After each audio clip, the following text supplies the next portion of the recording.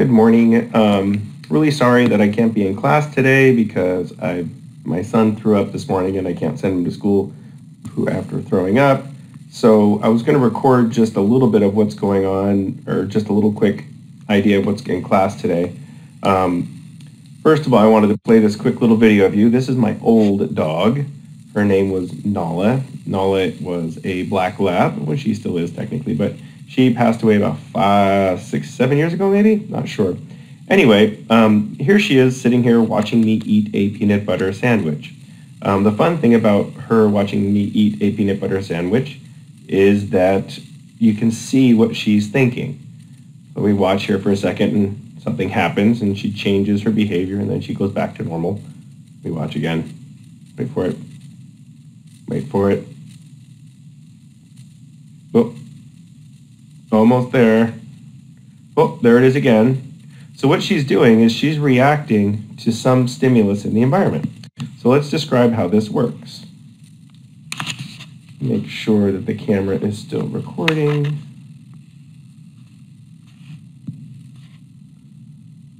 Is it still? Yep, it's still recording. I just wanted to make sure. Okay, so go back to here. Minimize that. Okay, so if you can see over the shoulder, my shoulder here, the dog, Nani, say hi.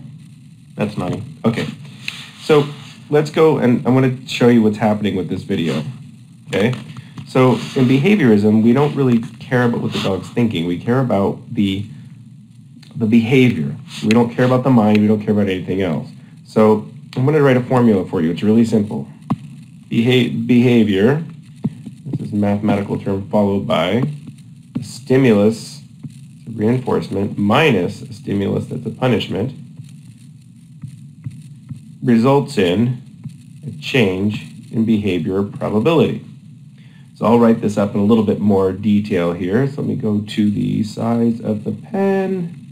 Which I thought I could adjust. Let me try this one. So this is a behavior. Okay, and a behavior is measured by, a little smaller so a behavior is defined by its measurement. So we can measure the behavior of this dog. Um, the dog's behavior is staring. Okay, and so the dog's staring behavior is focused on, well, me. And there's other ears, so we can look at her eye contact in time. We can also measure her ear position. We can also measure her head position. Okay? So those are the those are three basic measurements we can see in the dog. What she's actually thinking we don't really know.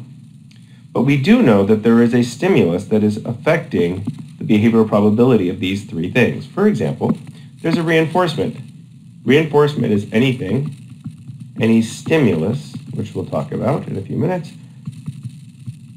that increases. Sorry, fix that.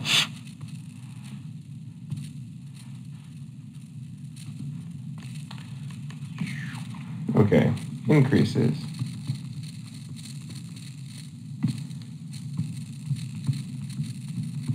Behavior probability. So any stimulus any stimulus that increases behavior probability is called a reinforcing stimulus. So what is a stimulus? Well, it is something, oh, I'll put this over here, something in your umwelt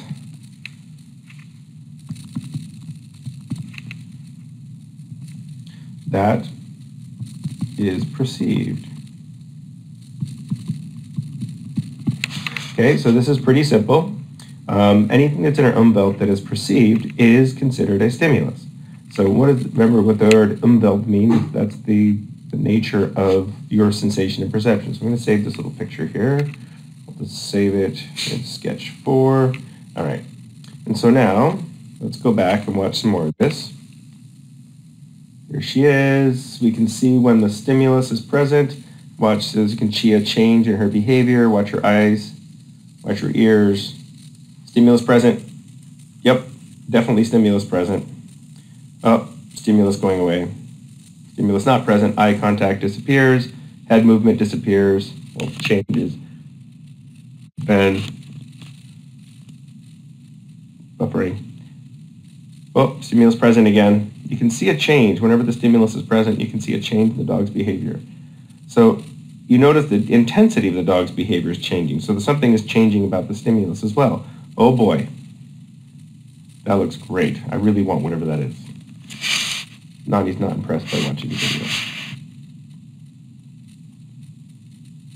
Wait for it. Some stimulus is drawing her attention away from what I'm doing, but oh boy, now it's getting really, really serious. High intensity behavior. There it is.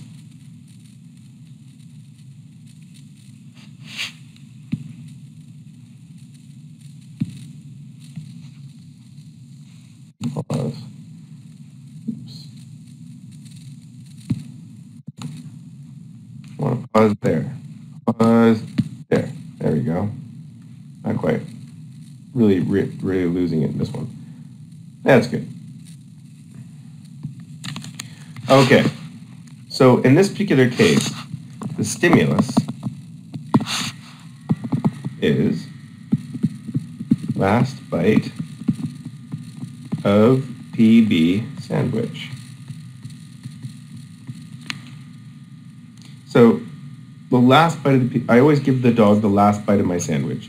So as the sandwich is getting smaller, the stimulus is getting closer and closer to being ideal. So before, when I first start eating the sandwich, she sits down, but the behaviors are relatively subtle because the stimulus isn't very strong. But then there's a distribution which we've seen lots and lots of times, is that the ideal situation, the ideal stimulus is last bite. When the sandwich is big, less behavior, less stimulus, which produces less change in behavior. After I've eaten the sandwich, you'll see in a few minutes, you'll see that there's also less stimulation and behavior changes pretty quickly. So as we get closer and closer to the last bite, she gets more and more excited. But as as I finish the sandwich, her excitement decreases. As I'm slowly finishing the sandwich, her excitement decreases. This is called a generalization gradient. So if I go back to my behaviorism formula, behavior followed by a stimulus as a reinforcement minus a stimulus as a punishment results in a change in behavior probability. And so the behavior in response to the stimulus, it's a reinforcement, when the sandwich is the last bite, it has the greatest effect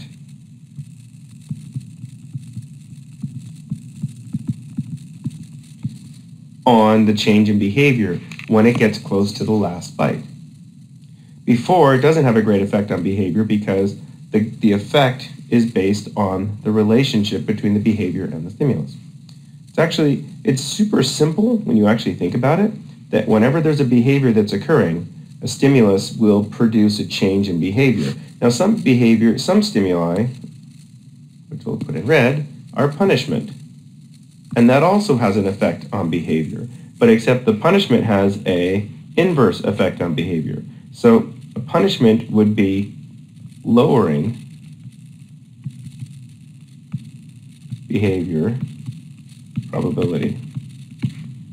So because it, something as stimulus as a punishment, it lowers, it decreases behavioral probability.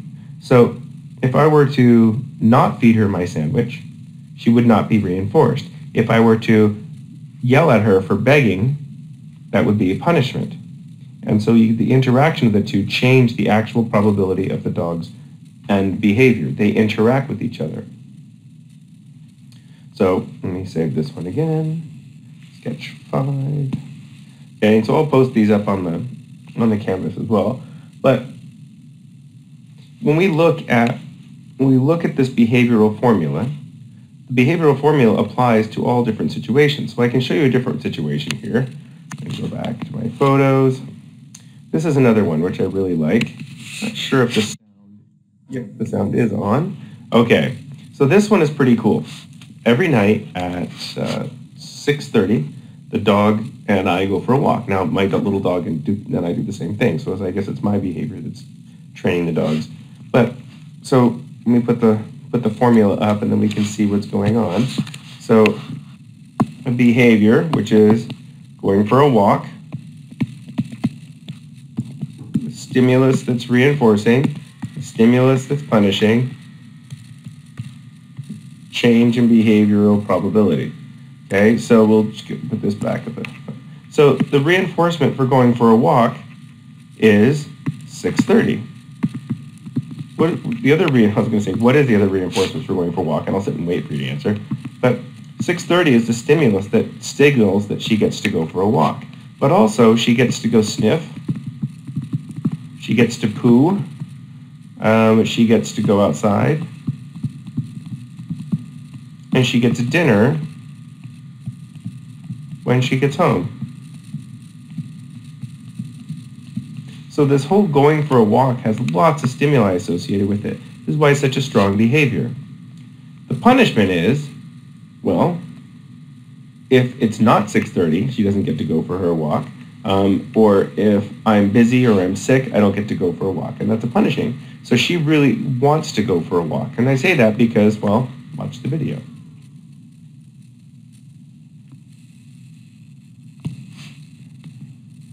Gotta figure out how to save those.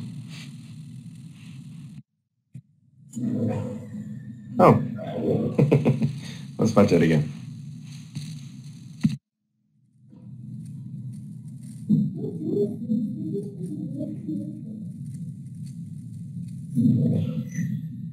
Now, something just happened right there. What happened was, if you listen carefully, you can actually see it. I'm going to put that one on there. Something happened. A stimulus that was not intended was there. The stimulus was a ding, dong, the doorbell. Because the doorbell went off, all of a sudden the dog bark and run to the door. What's interesting is that this stimulus has nothing to do with going for a walk. This stimulus is something that's superfluous. It's in her environment. This is something that has been classically conditioned.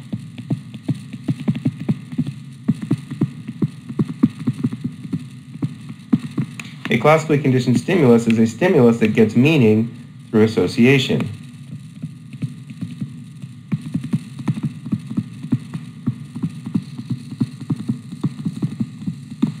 And the association, well, it's pretty simple.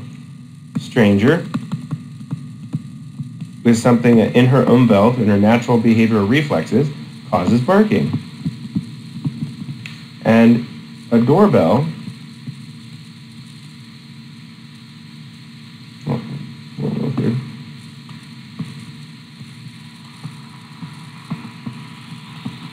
A doorbell is not in her natural but the doorbell is associated with strangers.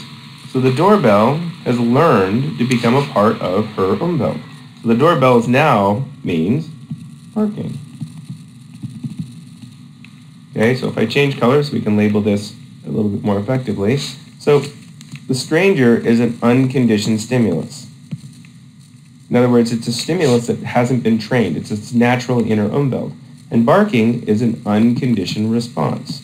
It's a natural reflex for Labradors especially to bark for no good reason.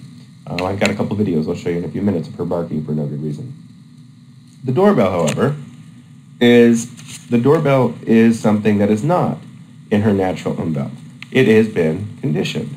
Conditioned stimulus, a change in her umwelt, which causes a conditioned response. She never really barked at the doorbell before we moved into this house because our old house didn't have a doorbell.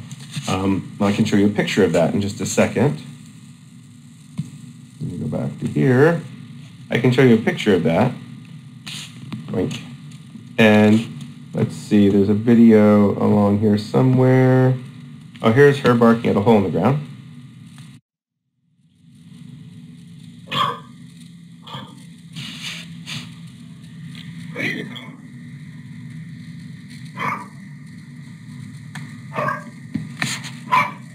Yeah, she's barking at a hole in the ground. And here's her barking at the front door of her old house.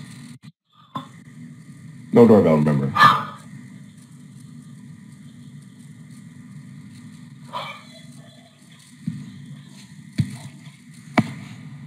Yeah, Anya got that.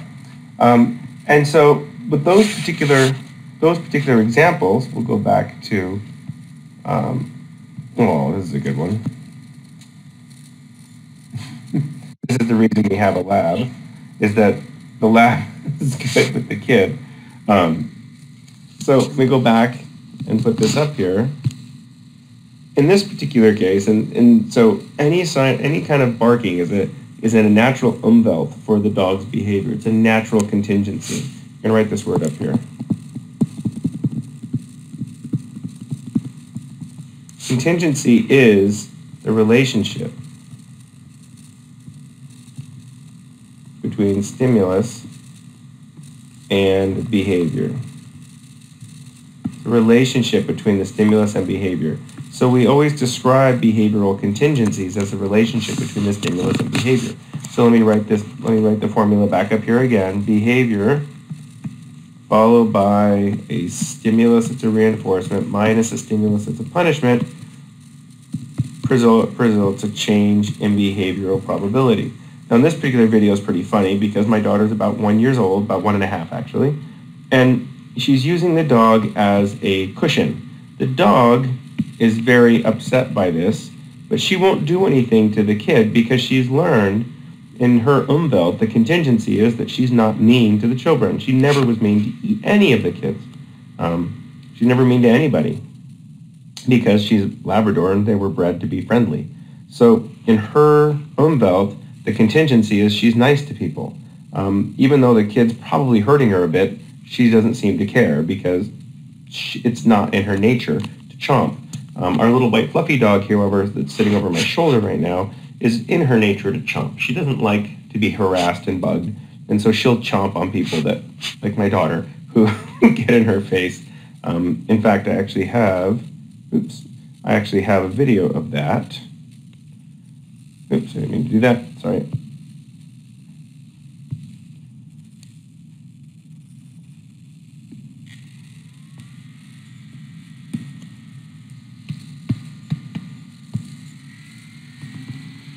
Windows, I don't want Windows settings. Sorry, it makes excellent video.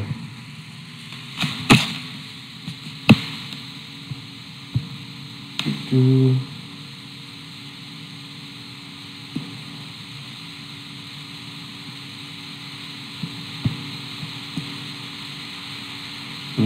you're doing, computer.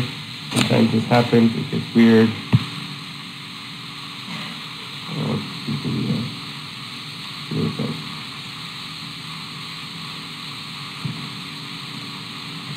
There's a video somewhere in here of the dog getting mad at my neighbor. And I had it up here before, but then I just closed it by accident. So it's fishing. Brain scanner. My son's flying a kite. Totally not worth it at this point, but we're going to try it anyway. There it is. This is typical Nani behavior. Especially when they were. Notice sharing the teeth.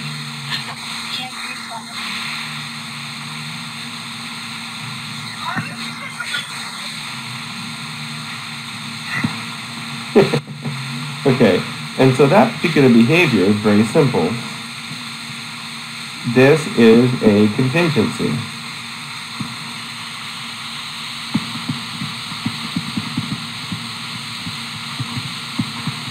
strange boy.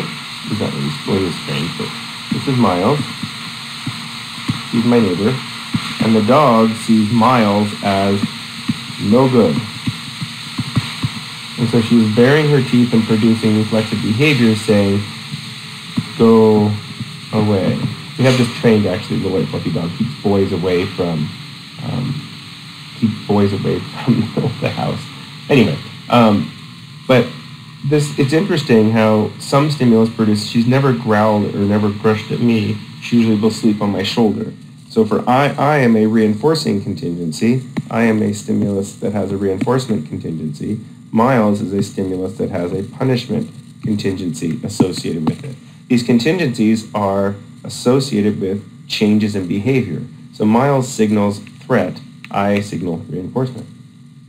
Um, even if I mess with her, no, no, mess, mess, mess, mess, mess. She really doesn't seem to care. And, you know, really just struggles through her day.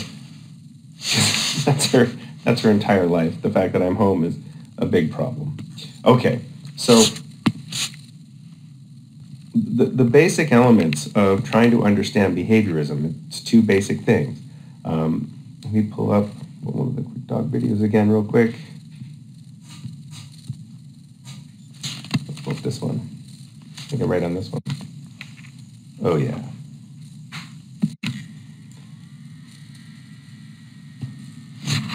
So the basic elements of the dog videos are really simple. Okay, there is a behavior. In this particular case, what do we see? We see drool. Okay, so the you know is drooling is not a choice behavior, but it's a reflex.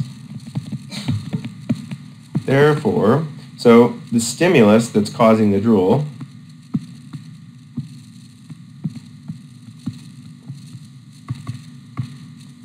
Okay, so the stimulus that's causing the drool would possibly, be good. The stimulus that's causing the drool is food. Food causes drool, unconditioned stimulus. However, um, there's no food. She's not eating. But breakfast. I just got home from mountain biking, so we're about to eat breakfast. Breakfast is associated with food. There's no food yet, but is the dog waiting for food? Well, yes, because what do you see? Dog spit. Saliva. Okay? So the food produces the reflex of drool. Unconditioned response. Response behavior. Okay? Breakfast is a conditioned stimulus. But when we sit down to eat breakfast, the dog drools because we always give her the last bite. Conditioned response. Her drool is not in response to actual food. Her drool is in response to us sitting down to eat food. It's a preparatory response. So she's already being reinforced before we actually give her any food. It's kind of cool. So the behavior is drooling. Okay, the stimulus in this particular case is us sitting down to breakfast. Us sitting down to breakfast, even though she doesn't have any food, she's still starting to drool because she's learned over time through associations that food equals drool. Super simple. Um, I'll try to record a couple of videos of our little dog because she's really skittish. You can see she's really stressed out right now. Yeah. Um, she's real skittish in the kitchen. Oops, sorry. Um, and whenever I drop something in the kitchen, she runs away. So she has a problem that there's a stimulus that she wants food is the reinforcement for being in the kitchen, but she's afraid of things falling on her. So she has this conflict. This conflict results in a change in behavioral probability. Super easy because the super behavioral probability is the change in behavior. She, depending on the amount of fear or depending amount of food, it changes the way she acts at a particular time. Now, this whole thing is called the law of effect. This was came up with by a guy named Edwin Thorndike. Edwin Thorndike figured out that this, whatever this dog is thinking, whatever this dog is thinking is irrelevant. It's what the dog is doing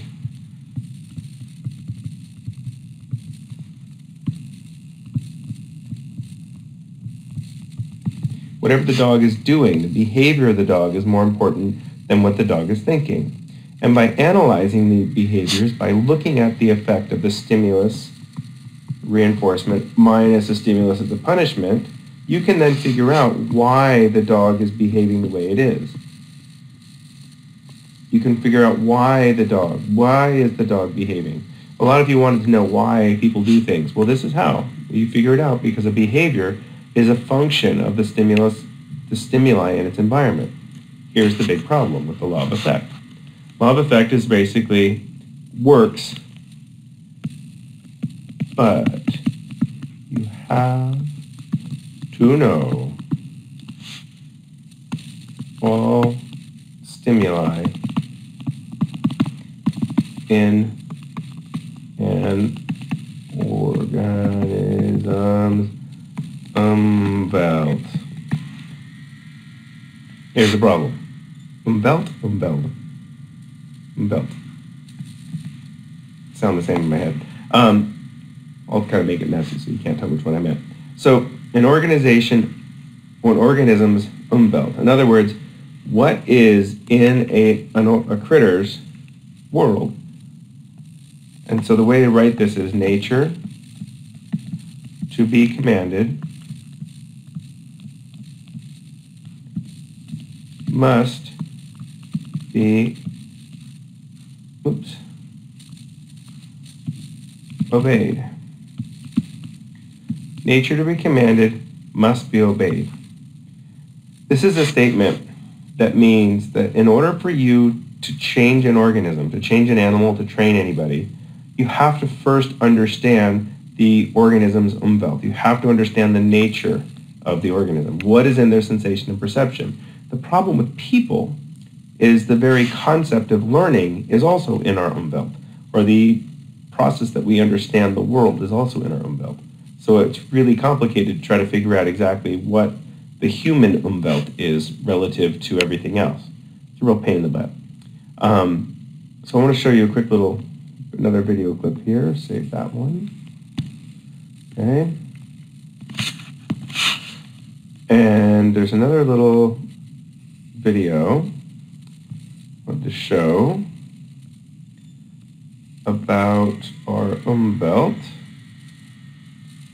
Um, where is it? Babies being born. You probably don't want to watch those. Okay, so this is something that's in our human umwelt. Okay, um, and this is pretty cool. Wait for it.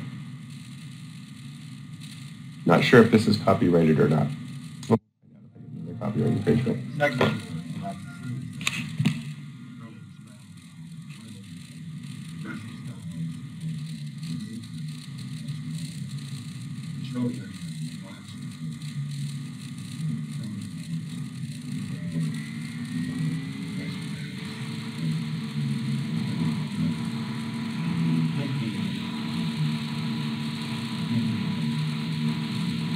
boy.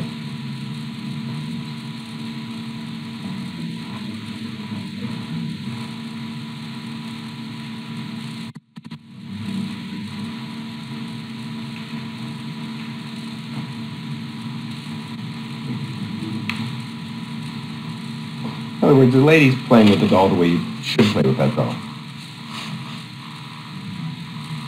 Now, now, there's no call for this kind of sassy behavior, lady.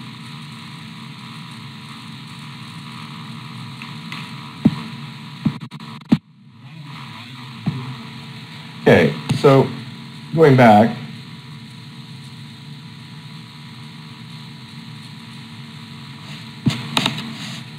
I would say 90% of boys will hit the doll. Just because of the nature and acceptance of little boys hitting the doll.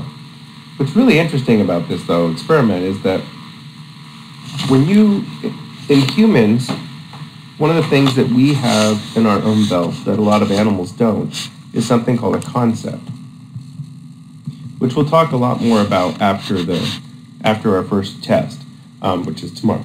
Um, but the concept is that you learn the rules for behavior. not stimuli. So this is really complicated. So humans have the ability to learn concepts, rules for behavior, not reacting just to stimuli. So stimuli are much more, I'm going to draw this again, which I drew before. What we said before, stimuli are generalized and conceptualized. So that any a particular stimuli, so if the dog generalizes the, the begging stimuli, anytime I'm eating or anytime I'm having any snacks, the dog will then assume that those snacks mean, oh, it gets the last bite. Um, and therefore, anytime I'm eating or munching on something, the dog gets the last bite. In a particular case of our little black lab, she would beg for anything, even if you're eating an orange. It didn't matter. She generalized, she conceptualized the idea that if we're eating, she wants to eat it. Um, she would even eat an orange slice, even though dogs generally don't like oranges. Um, she would eat it because we were eating it. Um, because she learned the concept of begging, not just, I want the peanut butter sandwich. She would beg from everything. So we can see if these kids generalize the concept because we can reinforce the concept as a behavior. This goes against a lot of the principles of behaviorism, but a concept that is reinforced, stimulus it's reinforcing, minus a stimulus it's punishing, results in a change in behavioral probability. And so by, by encouraging the little child to hit the doll, they tend to hit the doll. If you encourage a child not to hit the doll, they generally won't hit the doll based on how they, res- how they respond to the stimulus and punishment of the model. Um, okay, so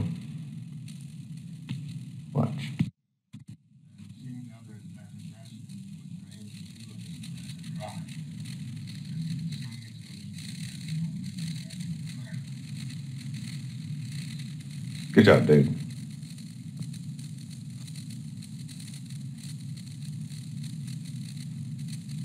He actually even looks bored with it.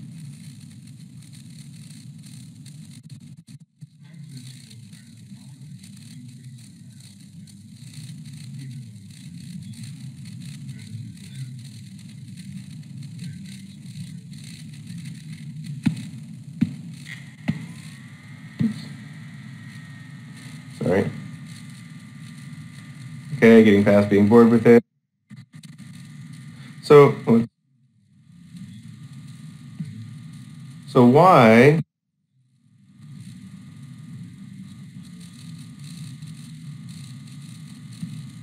Okay, so this is really interesting. Wait for it. Come on, pen, you can do it. There we go. So the aggression. I'm thinking Okay. Um, aggressive behavior is a concept. So he did some specific aggressive acts, but he took the concept of aggression and was able to model the aggression. The aggression was reinforced. And that we see this with the, with the guns. So with the gun, the, even though the model never played with the guns, if they saw the aggressive model, they increased the probability of playing with guns. Now the fun part is, is that most boys will play with guns. Um, they just, some reason, aggressive toys are very fun for, for young boys. Um, a lot of chimpanzees will fight with each other and throw rocks at each other just for fun because testosterone causes aggression. Sorry. But in order to test this if it's true, we can test it with little girls. So the little girl should not play with the Bobo doll. Talking smack.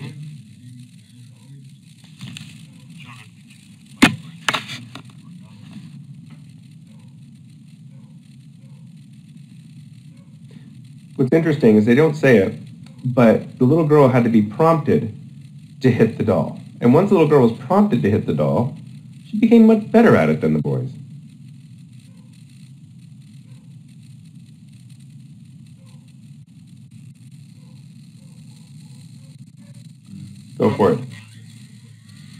Again, playing aggressively, without bounds. The model never did any of this stuff, but the little girl is figuring it out pretty quickly. In fact, she becomes a cold-blooded killer.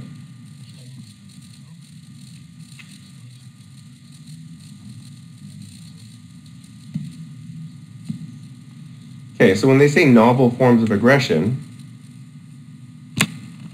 what they're really showing is that is the concept I'm writing it three times, I know, the concept of aggression that the kids learn. And there's a couple of videos that we're going to show you after the break about that we break into cognitive psychology, where really we do focus on the concept formation. Um, in fact, I'll send a little links out to these um, with the babies looking at different um, different things to see the different uh, sides that babies think about in the world. Um, the concept of aggression is the important part, not the actual aggressive act. In the control groups, the experimental group, the control groups who didn't see the aggressive model, they didn't come up with new fancy ways to hit the doll. They just hit the doll the way you're supposed to, just kind of punch it and get bored with it and walk away. Um, so this is really this is really fascinating because it's it's the same basic thing. Sorry for the video zigzagging all over the place. I'm just trying to write on the tablet. Behavior followed by a stimulus that's a reinforcement minus a stimulus that's a punishment produces a change in behavioral probability. If you follow this rule and you understand the Umwelt, I think it is a T, the Umwelt, then you can understand what the stimuli in the environment is. But in order to under, understand the stimuli in the environment, you have to look at the person's learning history. This is something that's really important, looking at the person's learning history. There's something called latent inhibition. Latent inhibition is previous learning.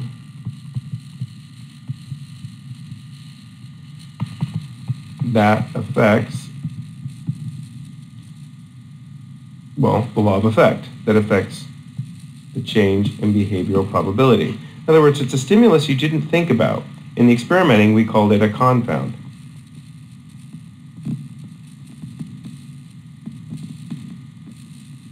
That's a B. In the experimenting, we call it a confound. Okay, and a confound is something you didn't anticipate. And a good example of a confound is if we were to try to get you to eat bananas. Say, okay, bananas are good for you, they're high in potassium, so we're going to have you eat bananas. But what if you got really sick eating bananas? Or my son threw up this morning. What if he got sick eating lemons and we tried to give him lemon cough drops? Uh, he wouldn't like the taste of lemon. Um, because if he just ate, ate something lemony and then got sick, the type of lemon would already have a negative reinforcement. It would become a punishment to him. And if we try to use it as a reinforcement, his latent inhibition, his learning history would get in the way. Um, his previous learning changes the likelihood of using it. Um, using a your ex's cologne, um, trying to convince your new significant other to wear your ex's cologne because you like that cologne, not a good idea. Um, and so when you try to tr- figure out what someone's learning history is, you have to go back and look at their at their past just to figure out what's going on. And it's even more it's even more interesting because every single person, that's why I like looking at my photos, every single person has their own learning history, has their own backdrop, has their own background of things that they like, um, and things that, that are important to them. And so when you try to do this, try to understand how the nature of things work, you have to really understand all the different stimuli in a particular person's environment. So there's a couple different ways that you can use this. Um, and this is something that's actually pretty, very useful in everybody's life. It's called shaping. Okay? With shaping, what you do is you have to identify target behavior. This is experimenting with behaviorism. Identify target behavior. Identify the measurement. Um, so I will I will train the dog to do something interesting here um, in a little bit. So in, in order to change the dog's behavior, you have to define a measurement. So I'm going to try, she's never really done this, but she's I'm going to try the sit and stay behavior. Okay, she can sit really well. Staying, however, is something that she's not necessarily good at. So I'm going to work on the stay behavior. So to define a stay, a stay is sit when I walk away. So when I walk away, we can measure this in meters, and we can measure this in time. So I can measure distance for walking away and time for the stay aspect of it. So the, the distance and time is the measurement of success. What I'm going to use is her favorite food. Cheese sticks. Um, her favorite her favorite food is the cheese stick, and the reason is because Grandpa always feeds her cheese sticks. So here's a stimulus that's reinforcing for her. Okay, um, and it's it's very good to use reinforcement. I'm not going to punish her because a punishment makes her afraid and it makes her pee on the rug. So I'm going to re- reinforce her using cheese sticks. So when I sit and walk away, um, I'm going to I'm going to have her sit. She will sit, no problem, and I'll walk away, and then reinforce her for staying. Now, what I'm going to do first to break this apart is what, the first step of the shaping is I'm going to have her sit and increase the time that she sits there. So I'm going to in, going to start the stay. The reason I'm going to start stay first is because it's easier to teach her to sit and stay when I'm standing right there. Then I'm going to train her to, I'm going to walk back. And I'm going to walk back one meter first. I'm going to walk back a little bit first, just one big step back. Then I'm going to walk two meters back and then three meters back. And I'm going to wait till she's successful at each one of these before I move to the next one. Then four meters back. Okay, and so I'm going to record this whole thing on the GoPro. I'll probably do it on um, speed uh, so that we can, uh, so you can see the whole thing. But it's, it's a whole process where you're doing things slowly, incrementally. And it's called shaping because you're just, you're slowly introducing a behavior. You can introduce almost any behavior through shaping, um, and you just have to identify what you're going to do first, and then then you have to be able to identify um, how you're going to do it. So I'm going to go do this right now, and we'll find out how it works. Let me go back to the recorder and hit.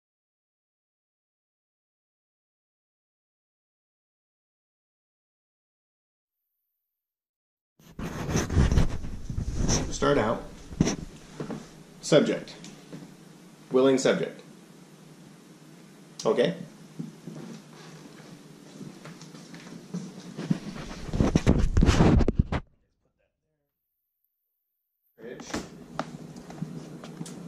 See if there's any stimulus involved. Oh.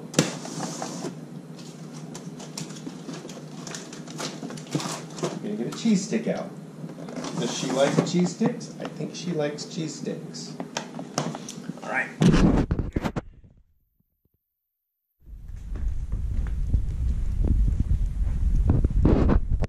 Let's see what that looks like.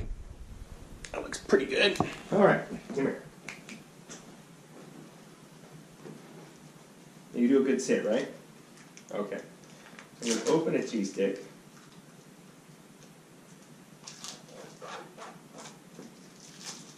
Okay. Good job. Good sit. No. Stay. Gonna wait for a minute or so. She's a good. Here we go. She's yeah. Wait, Sit. At one meter back. Job. It's a good job. Here we go. Over here. Sit. Sit. Good.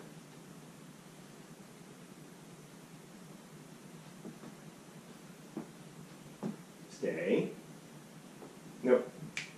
Stay. Stay. Stay. Good job. You're a good dog. Okay, good job. Steady. Good dog. Way back, way up over here. Nope. Good job. Good sit. Good sit. Four, five, six, seven, eight, nine. Oh, one, two, three, four. Foot.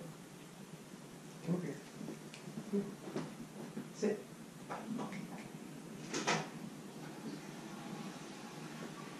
Stay. One. Nope. Stay. One, She's six. two, three, four, five, six, seven, eight, nine, ten. Oh, good job. Oh, ten is a good number. Stay. One, one, two, three, four, five, six, seven, eight, nine, ten. Oh, good job. Okay, come over here. Sit. Sit. Good. Stay.